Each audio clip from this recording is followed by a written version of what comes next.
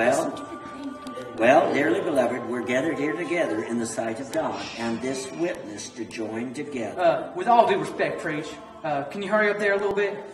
Well, you asked me to do a wedding, and that's what I'm doing. Now, where was I? Oh, yes. We're gathered here together in the sight of God, and this witness to join together this these two people, so that they can become one. Do you have any rings? What? You think I'm made of money? I ain't got no rings. Herschel, here's some gratitude. Uh, thank you kindly. Well, I suppose if that works for you, do you have any vows? Oh, yeah. She do, I do, the end. Oh, I love you, sugar pumpkin. You're mine forever and always. Well, then, I pronounce you husband and wife. You may kiss your bride. Holy crap!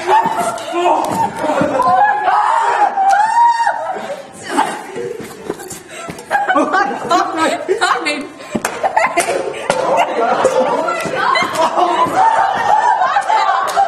oh God, my shoulder. Go, Daddy, go!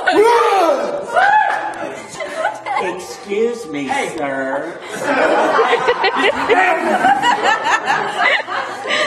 Excuse me, sir. What's going on here? I was going to ask you the same thing, sir. This is my daughter. She ain't getting married to nothing.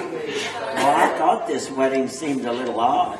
But don't worry, sir. It isn't legally binding. Oh, thank God, Daddy, it was so Hey. Mr. Mailman. Oh, Yes, dear. I'm sorry I was such a jerk. Oh, listen, my word is never going to come between us again. I get to go Can you forgive me? in the crowd. I pronounce you husband and wife. You may kiss your bride. Holy crap!